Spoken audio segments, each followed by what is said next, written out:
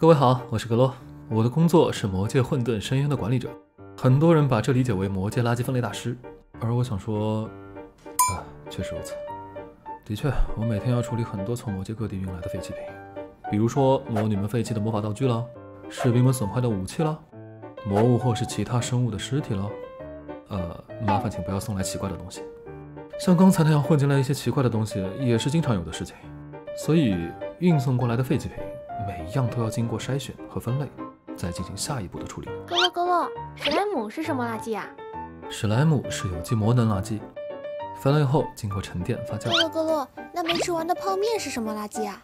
面汤倒入下水道，面是厨余垃圾，泡面杯是。咯咯咯咯，那我是有害垃圾，物理烧毁。唉，所以说，垃圾分类还是很重要的。分类完成之后，我们通过先带的神留下的装置。对这些魔能废弃品进行转化和净化，然后这些魔法能量就能重新被利用起来了。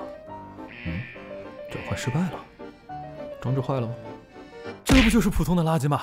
这种垃圾自己拿去分类再丢掉好吗？总之，这项工作虽然听起来复杂，但是魔界现在的科技水平越来越发达了，很多流程都已经由机械代替了。由于每天运来的废弃品实在太多，只靠我一个人。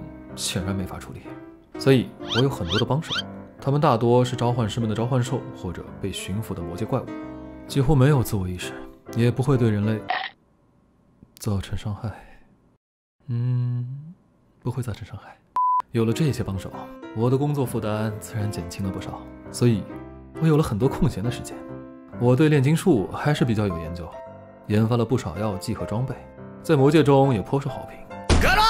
你上次给我做的小火龙好像什么东西啊？什么把小火龙和饼干一起放进去就可以把饼干烤熟？结果烤起来都爆炸了。偶尔也会出现一点小意外，不过问题不大。